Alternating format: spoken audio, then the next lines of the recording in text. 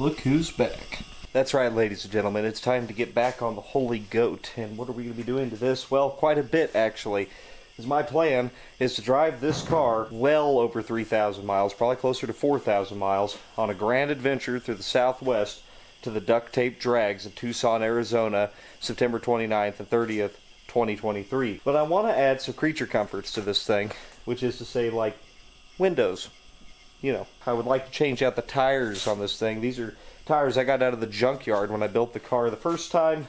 Maybe we can upgrade that. I'd like to go through the front end. It still has the original bushings and ball joints in the front end. I want to at least take a look at it and make sure it's safe. I picked up this dual plane intake from the guys at 323 Fabrication on YouTube. Check them out. I got that last year at the No Name Nationals. Then Mike, a subscriber, sent me the Street Warrior carburetor. It's a vacuum secondary carb. I think that's going to give us a little better mileage over the double pumper we have on it right now. So I definitely want to swap that on, and maybe we do that right now. Ever convenient homemade hood pins. Ah, yep.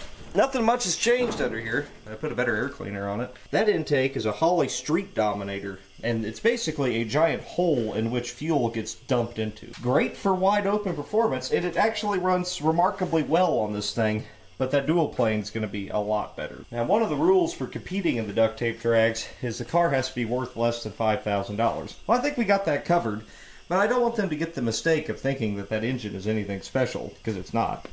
So really, we don't want it to look too good, you know? So we're just going to give this a quick rebuild.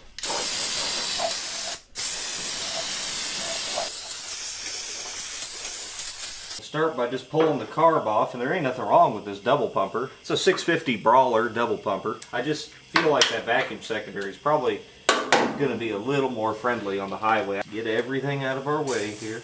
Oh, good. That has pressure on it. Why? Definitely tell that this thing has seen some miles. Look at the front bowl on that thing. Just covered in road grime. Alright, I think I got all the bolts out of it. Pop her off now. Of course, I didn't drain the coolant, so we'll go ahead and create an environmental catastrophe. Yep. Oh, do I really got to pull a valve cover? No. I would very much like to not do that, please. Uh, yeah, there we go. If you remember way back when I was putting this, you know, slamming that intake on there to drop it in this car, I used a Mountain Dew can to block off the heat riser. Well, it turns out you cannot use a Mountain Dew can to block off the heat riser. Who would have ever suspected that? I mean, uh, surely not. uh, well, lesson learned there. Part of me would very much like to reuse these intake gaskets, but since I hit the big time, you know, I've really changed. I, I gotta say, I think I've sold out. I'm gonna put new $17 intake gaskets on. I'm sorry, thoroughly prep this for install. Oh yeah. The only place you got to put any RTV at on a Pontiac intake is maybe just a skin coat around the front water jackets. That's the only place coolant passes through. Literally like a little on my finger and then just kind of smear it around the edge of them.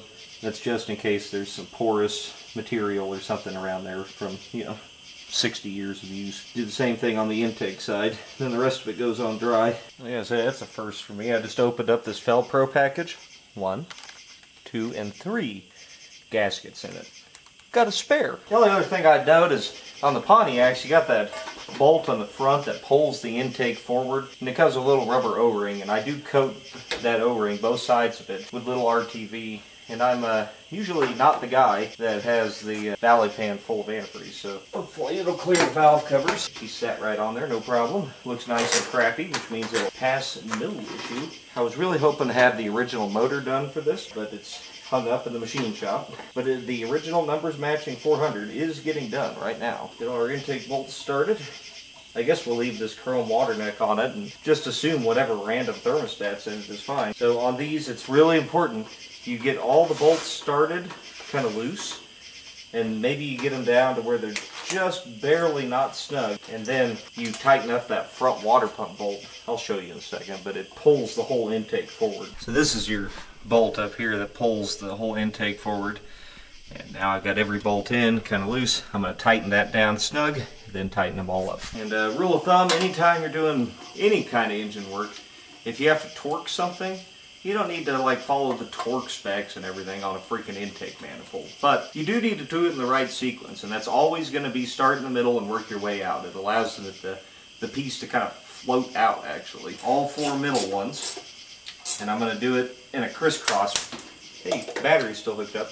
Kind of like you would tighten down a wheel or something. And then I'm going to tighten them all down, and then I'm going to go over them one more time because they'll inevitably back off a little bit as you torque them all. Now this thing is blow by city, so I'm actually going to hook up the PCV valve since this carb has a front port for it. Other than that, I got to plug one vacuum line and I think we're done. Pick out the old carb here. This vacuum cap tore right off. It had a cut in it the whole time.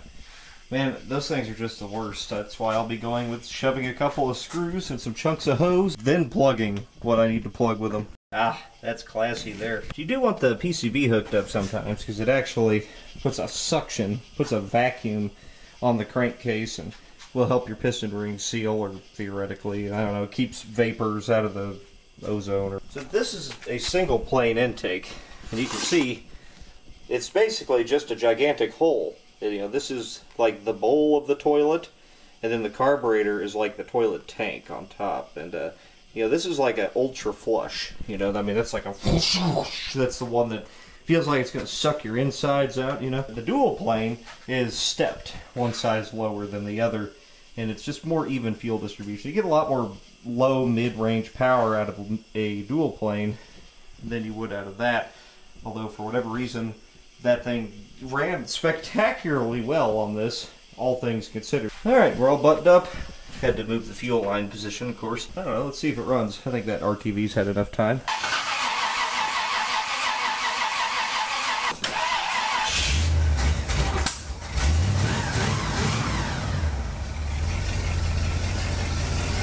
Took a minute for it to fill up.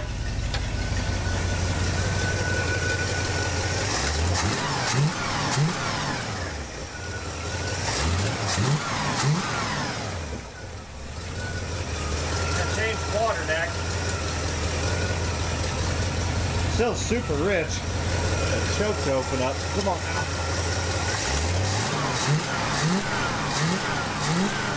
I pulled the idle screws out to one and a half turns. It runs decent. Pretty rich though. It's just a 625. I don't know. I'm gonna throw a set of plugs in the goat real quick. Original AC Delco plugs, made in USA. $20 on eBay. Should be exactly what this guy needs. I don't think I ever even pulled the spark plug out of this. I'm pretty sure that motor has had the same spark plugs in it for uh, ever.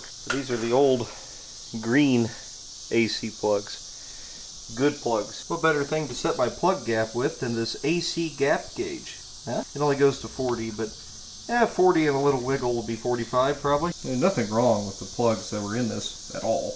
They are also an R45S. It's funny, they actually are a little bit different design. Number 4, number 6, number 8. It's not bad. I just kind of drug it pulling it out. And that's 1, 3, 5, and 7. Looks like this old wore out 400 is actually in remarkably good shape. We'll go ahead and drop the oil in this thing. We got only the finest oil to put in it. Now I know there's not a lot of ZDP in these things, so I got two of them. Surely that's enough, right? Ah, yes. Only the best. And then a Wix filter. It's been so damn hot, this stuff is actually viscous. Look at that. That stuff's usually like goo. Stuff's getting crazy expensive these days, isn't it? How much are you paying for oil? Let me know down in the comments. I think I gave 21 bucks for this, or maybe 19. See if she's a happy little poncho.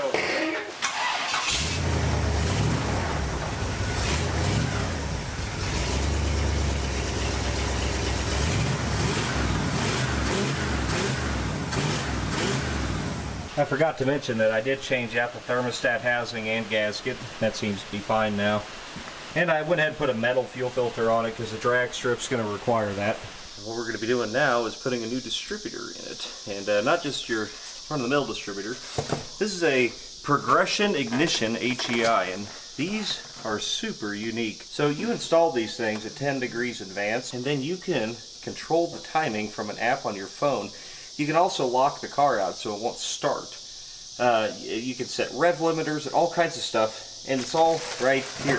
No ignition box. And it looks like a stock HEI. Or they even have a small cap distributor. And they're about $569 for that. Sounds like a lot, right? But I mean, if you price an MSD box and something that has all those features, plus a distributor, you're looking at more than that. Plus, I can control it with my freaking phone, man. I've always wanted to play with one, so that's what we're going to be doing right now. However, we have one little hang up with that. If I recall correctly, the balancer on this engine is slipped and you have to install this at 10 degrees before top dead center. We can try it and see if it looks like it's correct. I bought a piston stop just to make sure of that. Uh, and then I bought some timing tape too, just in case. I don't know if I'd actually going to use that or not, but or maybe it only slips while it's running. I, who knows. First thing I'm going to do here is just pop the distributor cap off here. Let's just see if this balancer is really that far off. So number one points right here. If you look down here, here's the timing marks on your Pontiac. I'm just going to rotate it. Here's the mark right here on the balancer. This shows us where the crankshaft position is. So if I rotate that to zero, it should be top dead center. That's pointing right where number one was. So that's, well, I mean, that's pretty dang good. To put the piston stop in, I'll back the engine back off at top dead center. I'm just going to thread this stop into the hole here. I'm just going to roll it until the engine stops. Yep, I stopped it. See the balancer mark there? See how it's just a little bit off? That's probably due to the Chinese piston stop more than anything, but that does tell us that zero is zero and we don't need to mess with, well, anything. Well, let's go ahead and pop out the old distributor. Ah. There we go. Oldie but a goodie. I've had that one for a long time. Remove cap. Done. Coat distributor gear and O-rings with engine oil or assembly lube. Sure. Install distributor into engine with rotor pointing in the general direction of where the number one spark plug wire will be. Okay. No vacuum advance can to worry about on this one, so that's kind of nice. Put it where it was. I guess. It dropped right in. Next step, changes things up a little bit. You see these black marks on top of the housing here? Wants you to rotate the distributor housing around until one of these marks is aligned with the rotor. And that's going to make it 10 degrees. Now, once it perfectly aligned with the rotor, which I don't really know how you can do that, but I just kind of held my Sharpie up like this and it looks like it lines up and then I made a mark on the outside of the distributor housing so that this is now number one. You do actually have to hook up a vacuum signal to this thing and then once it's hooked up to a full manifold vacuum source and just happened to have this intake port right there. That'll make a, a, pretty good vacuum source for it. This is like the curliest piece of hose, I swear. I hooked it all up. It's uh, as simple as any other HEI. Uh, switch 12 volts. I, I, guess we started now. Start engine. Delivered pre-programmed with a timing table. It is fixed at 10 degrees before top dead center. Connect timing line. Fire it up and try to get this thing set on 10 degrees. I went ahead and stuck some timing tape to the balancer. Not that that's going to do any good. I'm pretty sure it's on 10 right now. Hopefully I'm right. But it needs to be 10 at 1200 RPM, leaving the vacuum hooked up.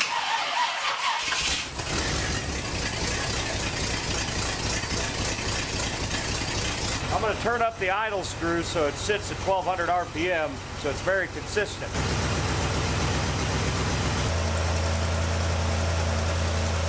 Gotta be pretty close. Time distributor hold down all the way. Now I think everything else is done off the app. Turn the key on to power the distributor.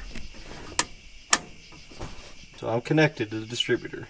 We're going to generate a table and you get to just make your own distributor curve here, I guess. Idle speed, probably about 650. Idle timing, so at idle I'd probably want, well, I don't know, probably S16 is probably fine. Max RPM base, so that's basically the centrifugal advance in a normal one. Now this is a pretty low compression engine. I'm gonna go with, let's go 38 at first. And I want all in by probably a little sooner than that. Maybe 2750. Rev limiter 5000, that's pretty good. Press generate table. Here's the table. On the left is manifold absolute pressure, uh, which is why you had to hook up a vacuum source. And on the bottom is RPM. So as manifold absolute pressure increases, then more RPM. Uh, so that, that top one's like wide open all the way 38 degrees. Select these, you can change them around, you can change each individual number, or you can turn like that whole rectangle, I can change that whole square, you know. It's pretty cool. Press save. We're going to name it. I'll do 16i 38T 5000 because 16 initial, 38 total, 5000 RPM rev limiter. It has this gauges screen which we should be able to actually see the timing.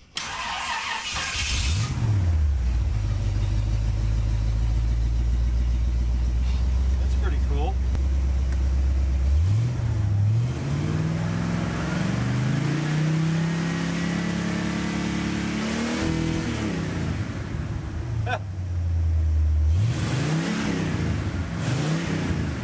Wow.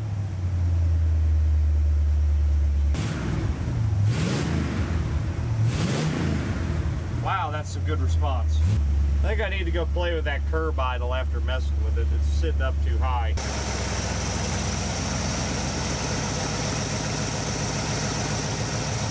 Obviously, I'm going to have to play with this thing quite a bit by just driving it around and tinkering.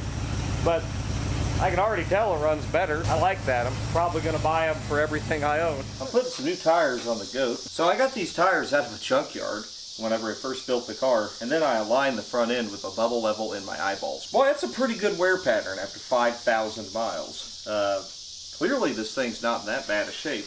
I thought it would have been worse. It still has its original ball joints and original bushings in it. I'm just going to take a peek at the bushings see if that's something I even need to bother with. And I can see some cracking and stuff like that, but I don't really see anything that looks like they've been walking around. The ball joint boots are in good shape still. They've still got grease in them. I mean, they're tight.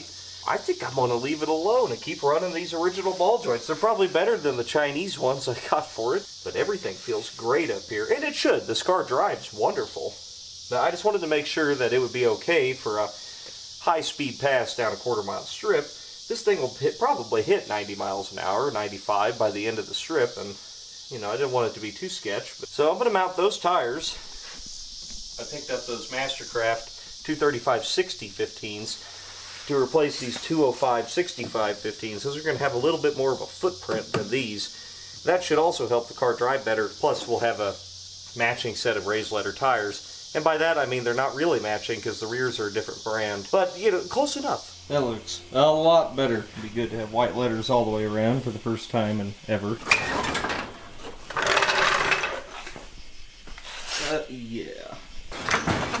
Back out here tonight. Now I think I'm going to try to put wipers in the goat. Not that our manual wipers here, wipers by hand here, you know, not that they're not great, but, well, they don't work, work really good if if there's only one of you. Well, first things first, I had to change out this wiper arm. Well, actually, I didn't have to, but I thought I did because I was going to try to hook up the, you know, hidden wiper thing. But uh, the pin's actually broken on the wiper transmission, so I just zip tied it.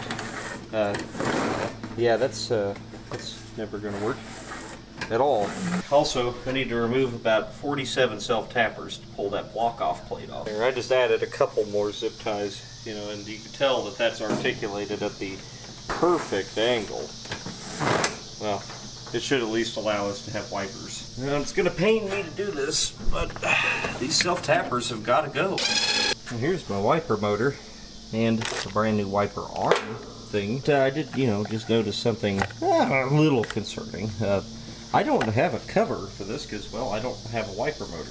So we'll throw it on there for now, but uh, I'm going to have to get one of those on order, I guess. Yeah, we're going to have a few things that we got to get around here. Another one is that I don't have any of the hardware to attach this wiper motor to the firewall, and uh, it, they are kind of a unique bolt. On your bolt nut restoration, you really got to have right, you know. So we're going to shoot self-tappers into it. I'm going to bust out my industrial grade self-tappers for this job. You ever seen anybody self-tapping screw a wiper motor to their firewall? Probably not. So, you know, if you haven't subscribed by now, maybe you ought to. Or maybe you should unsubscribe. I don't know. Ah, yeah. That's not going anywhere for at least a short while. We'll just tear that off. Who needs that dust cover anyway? This way, that gear mechanism's air cooled. Uh, it'll last probably 10 times as long now. Trim the excess off, I believe, just to be on the safe side, you know, safety. Weirdly, and I, I, I do mean weirdly, nothing lines up. I mean, who would have ever saw that one coming? I know I did. Well, it's only like an inch off. I know the motor's actually not an inch off. Self-tappers or not, I shot them through the factory holes. I came over here and looked at my Le Mans, wondering if there was some sort of difference, and lo and behold, there's some sort of difference. If I put that on flat like that, you can see how much further out it kicks that pivot, and it's actually shorter. Definitely bent differently. JD just had to make a slight adjustment to the wiper on there to make it fit. Now everything just lines up beautifully. I mean, that's clearly, I mean, that'll wipe off your upper cowl. You know, you don't want water on there. So, yeah, no, this is all going to work fine. Totally fine. Let's go ahead and wire this thing up and see if it actually does anything. I got it, everything hooked up up there. I don't think it's right or even close to correct, but, you know, who cares. If you'll take a trip with me into the way back machine, you'll remember me tucking up all this extra wiring that was in the wiring harness up under the dash instead of simply removing it. Now you get to see why. Because when you need to add a circuit, it's all right here. Makes it a lot easier when I can just reach inside this vent. Hmm, let me pick one. Now what do any of them do? we'll take the heater one. That's probably got power on it. And the beauty of the goat is that I can just reach my hands through the instrument cluster and find and route it. Really easy. The Goat is, is a really user-friendly vehicle. We'll just hook it up to this probably way undersized toggle switch I found in my cabinet. Well, this thing's a real gem, let me tell you. Working just like it should. I don't really know what the deal is here, but I think we'll just Rain-X it. Something must have been in a bind and immediately broke something in there. Well, since I screwed up the windshield wiper motor, let's see if I can screw up the windows too. So I got some polycarbonate sheeting here, and it's not plexiglass, it's polycarbonate. It's like Lexan, it doesn't break off into chunks. Acrylic is the one that's dangerous. This is legal for racing, probably. All I'm going to try to do is cut a window-shaped piece of polycarbonate and just let it slide up and down in the window. It's pretty crude, but it doesn't need to be anything fancy. I'm just going to take a measurement from where the original window is. It doesn't have to be perfect. It's just got to be something so that I can go down the track. I just need basically the length of the door panel. Not even the whole door because, well, the door overlaps the quarter by like four inches. That's kind of one of the problems with this car. I don't know if you noticed it, but it's, well, it's kind of rough. 36 on the nose. All right. So I think the smart thing to do would be to start at 36 we'll cut a square and then we'll get our angles off of that but it'll be a smaller piece of polycarbonate for me to work by myself with. So we actually need our window to be about 15 and 3 quarter, but we need to put it down in the door a few inches. Actually this whole thing's only 24. Maybe this will work. I don't know how much room there is for it to slide down in there without sticking up, but I, I kind of wonder if we need to put a curve into this or not. Uh, I don't know if you can do that with a heat gun with this kind of stuff. I mean, we, we got some learning to do here. The forbidden knife. The hot knife. Will a hot knife cut polycarbonate? Let's find out together. Claims to be on the highest setting. It's been like five minutes, I don't know. I thought it would be a good idea, okay guys? Alright, I went out on a limb. I was kind of hoping this would be like a hot knife through butter, but uh, I think it's more like a, a warm knife through cement.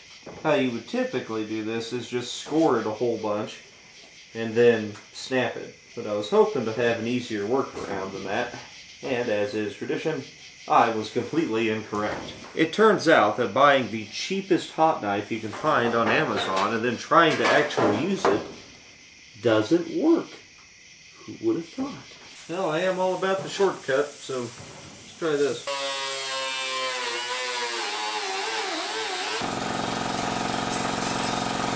There you go, there's my window legal polycarbonate. That's that's gonna be the thing that makes or breaks it, you know. That's why arbitrary rules in racing are killing racing. Just just saying. How far down will you go Alright, well that's some progress anyway. Uh, well, actually, actually, I'm pretty happy with that. Uh, I'm just going to crawl in on the other side there and mark the angle what's left of that A-pillar. Well, that perfectly straight line is basically the A-pillar of the car. Yeah, I think it's uh, pretty much a dead match for it, really. That fits pretty good. Pretty good, other than all the gaps, but I think it's good enough to get a tech guy to say okay. Uh, after all, that's really all we need. Even this random piece of trim here will actually hold the front of the window in and won't let it blow out. So that's pretty good. I like it. Now we just need a way to hold it up. I'm pretty sure this hole right here, drilled straight through, would be a great spot to put a pin. The bullet didn't make it all the way through, so let's finish the job. Well, that kind of works. Just shoving a bolt in here. Need to go a little higher with it, I think. But uh, also, that kind of lends the, the issue. I open the door on the outside. I need to be able to let the window down on the inside, you know or the goat quickly becomes my coffin, which get, get real. It's my coffin already. Back on the goat, I think I got a plan for how to attach this. The bolt in the window doesn't seem to work very good. So, we'll use a bungee cord, right? If They want me to have windows? Well, I'm going to have windows. See, we got all these holes in the roof that are real handy. And I'm thinking, if we just bolt this bungee cord to the top of the window, well, that'll surely just hold her right in place, and then I can easily unlatch it from inside the car. Safety, right? That's what it's all about, safety, so we'll be safe. Oh, we could go straight to the...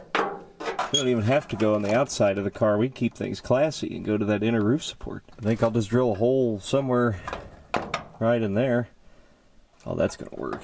Yeah. I marked it there. Marked it on the bungee cord. Let's see what happens. So I got that on there. And it works.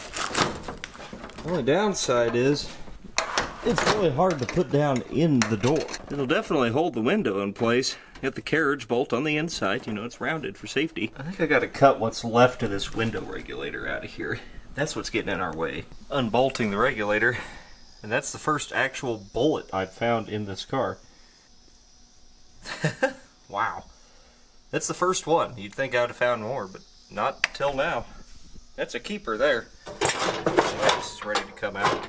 Any structure the door had is now gone, but you know, we're doing this for safety. Easy access to get that regulator out. Oh yeah, now it's that's even worse. Nope. That'll work. It, it will appear to be a window. That's what we need. Actually works pretty well now. And they come right out, so we can store them separately.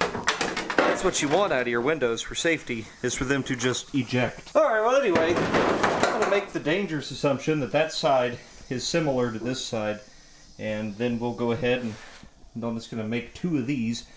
We'll worry about the quarter glasses later, or maybe I can get to them, we'll see.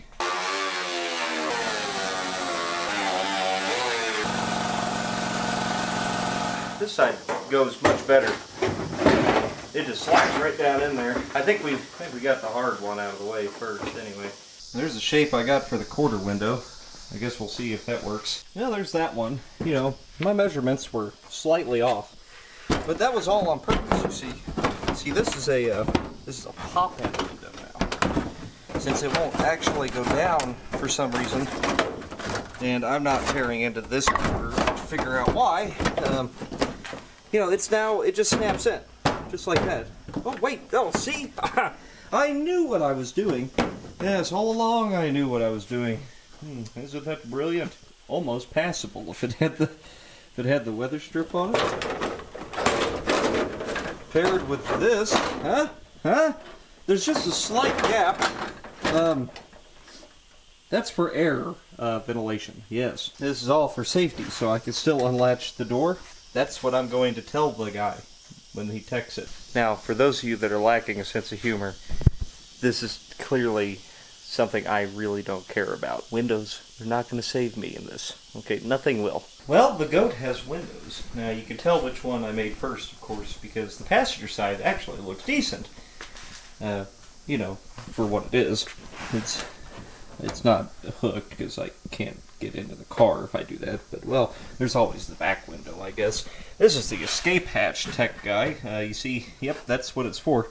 Yeah, I wouldn't ever put a window back there because of that. But, uh, no, this side's better, actually. Put a little more thought into how I made the quarter glass and extended it and Uh, that's how I should have done that side. I may remake it even. Now, one last thing I want to do to the goat before we take off for Arizona, and that's we got to change these seats out. They they're just so wore out and stuff. My back can't take it. Uh, you know, you might expect to see some Recaro buckets or something. And no, I painted a guy's truck and uh, traded him the paint work for those two bucket seats over there. That seemed like a fair deal. He threw in a case of beer. So uh, we'll put those in here. I always thought they were too nice to put in here, but now we have windows so we can kind of protect them, right? So I'm going to take these out. So those do need tracks, but hopefully we can make these tracks work. If not, I have those seats up there. Those are out of the Firebird, and uh, those tracks should work on those seats over there. 15 inches, pretty close. Well, they wouldn't work, so I guess I'm going to yank these off. We're definitely going to have to drill some holes in the floor. Get the tracks swapped over. Those tracks off of those Firebird seats fit pretty good. Let's see. They fit.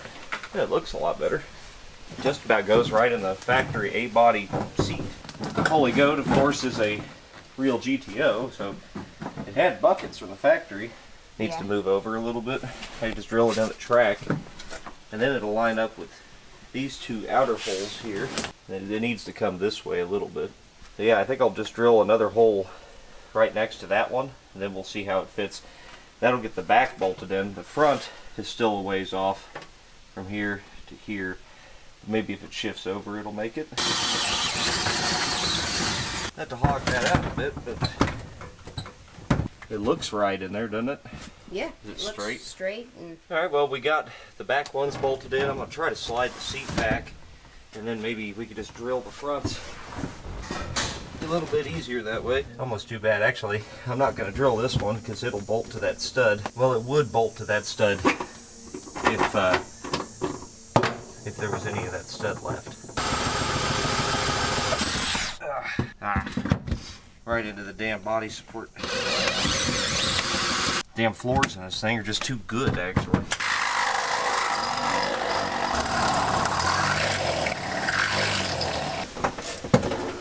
Mm -hmm. I can't get a nut to start on this, so I'm going to put a washer on it, and then I'm going to take these vice grips you see.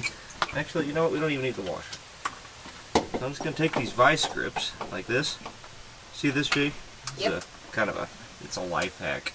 See that? And we're done. That's installed now. Time for my seat. Let's slide this other track. Ah. Back one, then. Yeah, yes. Well, it's not quite the same, is it? Yeah, JD got the front of this thing bolted down. Well, we could just bridge that with a washer. Now, look at that. Let's put a washer on there and it'll sandwich it.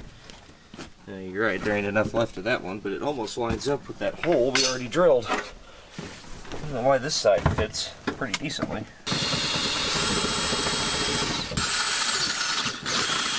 This is a piece that broke off of the old seats that were in it. This thing always had like two at best holding it in. Well, that'll be NHRA tech approved because, well, you know what? The car's got glass. There we go. Nice and sideways. Just how I like it. Let me test it out now. This, most, you hop in that one.